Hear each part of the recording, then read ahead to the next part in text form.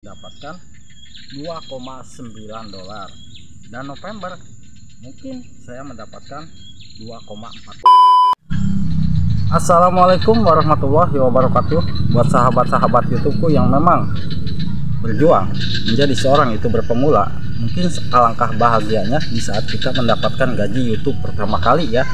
Nah mungkin gaji YouTube pertama kali kita dapatkan terkadang membawa kita merasa bahagia ada juga mungkin yang merasa kecewa ada juga yang mungkin merasa galau ya. Karena pendapatan kita selama YouTube bahkan yang mungkin ada yang sampai 2 tahun tiga tahun kita membuat channel YouTube tetapi setelah mendapatkan gaji gaji kita tidak seberapa tidak seimbang tidak sebanding dengan pengorbanan kita ya. Mungkin dari kita mem menggunakan pulsa atau ya dibilang sehari yang kita keluarkan dengan pendapatan yang selama ini kita dapatkan itu tidak sesuai. Tetapi yang namanya perjuangan seorang youtuber pemula itu ya pastinya merasa bangga ketika kita sudah mendapatkan gaji pertama. Nah mungkin untuk melihat gaji YouTube pertama di saat kita mendapatkan email kita bisa masuk ke tampilan beranda AdSense ya. Nah di situ kita bisa melihat kalau kita monetisasinya di awal Januari pastinya pendapatan kita akan bisa dilihat di bulan Februari ya.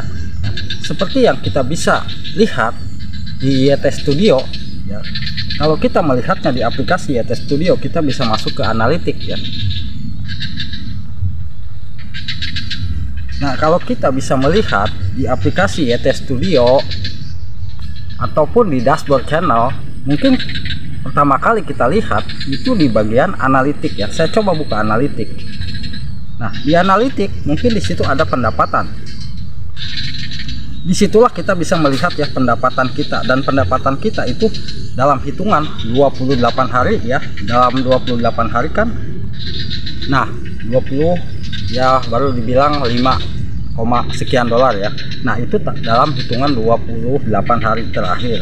Tetapi kalau kita melihatnya ke sepanjang waktu di sepanjang waktu kita sudah bisa mendapatkan 28 dolar. Dan itu tandanya apabila channel ini belum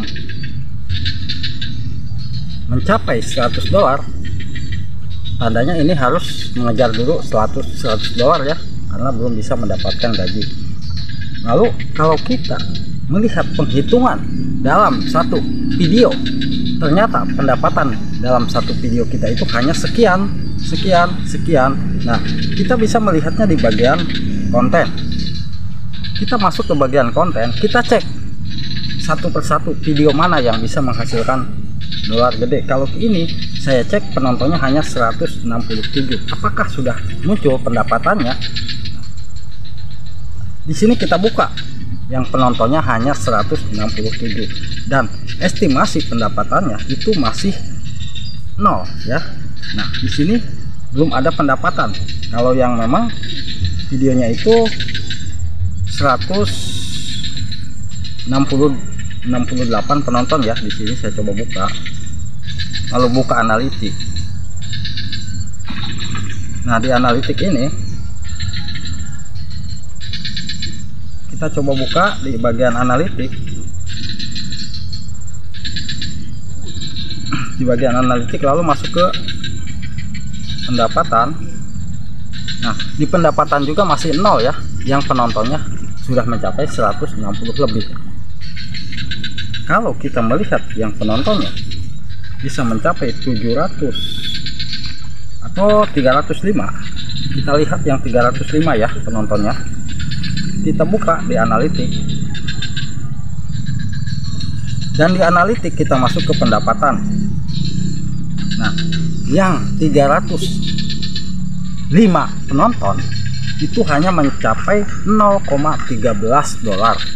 0,13 dolar itu tandanya hanya bisa didapatkan 1000 lebih ya dalam satu video.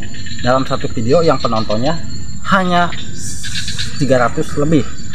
Lalu kita coba lihat lagi yang di atas 1000 ya. Saya coba buka yang penontonnya di atas 1000 ini 1700 saya coba buka penontonnya. Berapa sih pendapatannya? Karena kita bisa mengecek di sini di bagian analitik. Di bagian analitik kita buka.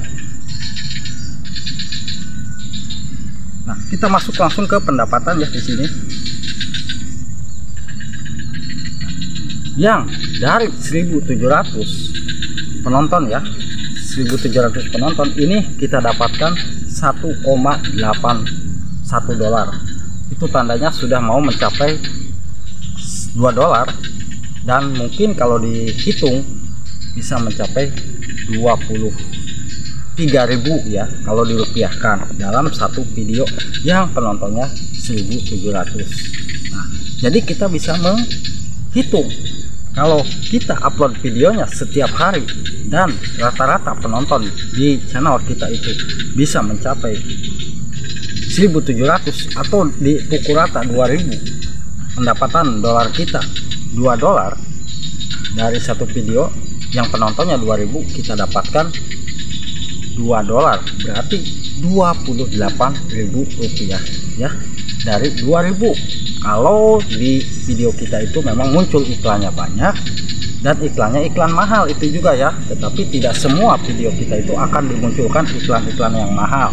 Jadi kembali ke awal apabila kita di saat menjadi seorang youtuber pemula kalau kita melihat video-video yang memang video tersebut menurut kita bagus tetapi penghasilannya kecil bisa jadi iklan yang masuk ke dalam video kita itu iklan murah dan mungkin jarang muncul di video kita iklannya itu ya. Nah, kita masuk lagi ke audien itu tandanya kalau misalkan bulan ini nah di sini kan sudah dijelaskan ya untuk jumlah penghasilan Anda. Februari masih dalam proses berjalan ya untuk di bulan Februari. Dan untuk Januari ini sudah mau mencapai 10 dolar Januari berarti saya mendapatkan 10 dolar ya dari bulan Januari. Lalu untuk Desembernya saya hanya mendapatkan 2,9 dolar. Dan November mungkin saya mendapatkan 2,14. Di Oktobernya saya hanya mendapatkan 1,61 dolar. Nah, di September saya baru mendapatkan 1,25. Nah, total pendapatan yang kita dapatkan kita masuk di sepanjang waktu yang lebih mudahnya ya. Kita bisa melihat dan di sepanjang waktu totalnya 22 dolar 63 ternyata pengorbanan kita selama ini untuk mendapatkan gaji dari YouTube itu tidak mudah prosesnya ya. Berbulan-bulan kita pun belum bisa menerima uang. Contohnya channel ini. Channel ini sudah hampir 4 bulan tetapi belum menerima gaji empat bulan dimonetisasi ya. empat bulan dimonetisasi pun belum dapat gaji. Kenapa? Ya penontonnya sepi pengaruh. Wah ada yang dapat betok kayaknya tuh mancing betok ya di sini. Lihat di sini banyak yang mancing betok tuh.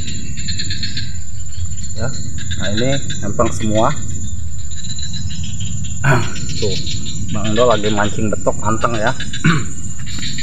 Jadi kembali ke awal untuk melihat pendapatan gaji kita tentunya kita bisa masuk ke analitik di sini di analitik lebih mudahnya di YT Studio. Kalau sobat semua ingin melihat pendapatan bulan kemarin berapa bulan besok berapa nah kita bisa mengetahuinya di situ ya. Jadi kalau untuk pendapatan gaji itu pertama tentunya yang mungkin Septembernya masih 1000 dan monetisasinya belum lama kalau video-video kita belum mencapai 1000 ke atas itu sangat sulit untuk mendapatkan dolar. Kecuali kalau kita rutin upload setiap hari dan video kita bisa mendapatkan 2000 penonton per hari itu akan mudah kita hitung ya. Nah, ternyata gaji youtuber pemula itu tidak seindah yang kita bayangkan saat orang-orang mengatakan ternyata gaji youtuber pemula itu bisa mencapai puluhan juta bisa mencapai ratusan juta. Nah ini bukti nyata. Bukti nyata yang memang saya tidak ada editan atau apa-apa ya. Karena ini sudah betul-betul real. Kita bisa menghitungnya. Kalau penonton di video kita hanya ratusan mungkin penonton sangat sulit kita mendapatkan dolar. Tapi kalau penonton kita di atas ribuan itu bisa kita hitung.